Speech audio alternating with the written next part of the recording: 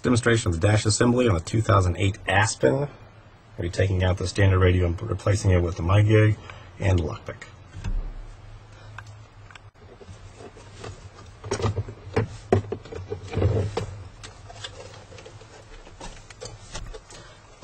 There's two screws underneath the bottom of this panel right here, one on this side and one on the other side. We've already loosened those up. Once they're loosened, then the rest of the panel can come off.